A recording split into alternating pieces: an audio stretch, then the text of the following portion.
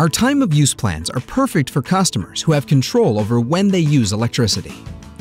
If you are able to reduce using electricity during the weekday afternoons and early evenings, then this type of rate plan may be right for you. A time of use plan offers different pricing during certain times of the day, week, and season. Managing your bill on a week-to-week -week basis, it's important to note that electricity costs are typically highest on weekdays. If you are able to move a few tasks, like laundry, running your dishwasher, or electric vehicle charging to the mornings, late evenings, or weekends, then you could reduce your electricity costs. Now that you have a better understanding of how the time of use rate plan works, you can start rearranging your tasks to take more control over your electricity bill.